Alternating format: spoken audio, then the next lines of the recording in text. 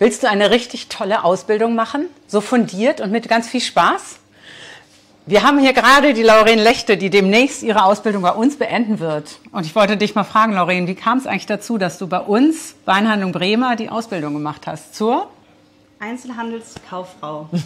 genau, es kam dazu, dass ich natürlich eine Ausbildungsstelle gesucht habe und ähm, ich liebe den Kontakt zu Menschen und ich habe ein familiäres Umfeld gesucht und das habe ich hier in der Barfüßer mit einem sehr jungen, innovativen und ähm, netten Team gefunden und so kam es dazu, dass ich mich hier beworben habe.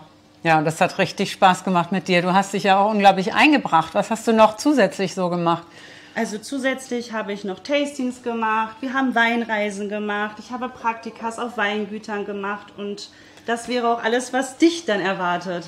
Ja, denn wir haben nicht nur die Einzelhandelskauffrau oder Kaufmann-Ausbildung ab 1.8.23 übrigens schon, sondern wir haben auch die ganz große Welt der Weine und Spirituosen, die dich erwartet. Und wie gesagt, ein tolles Team, oder? Genau, ein ganz, ganz tolles und Team. Lauren wird auf jeden Fall weiter bei uns bleiben, das wissen wir jetzt schon.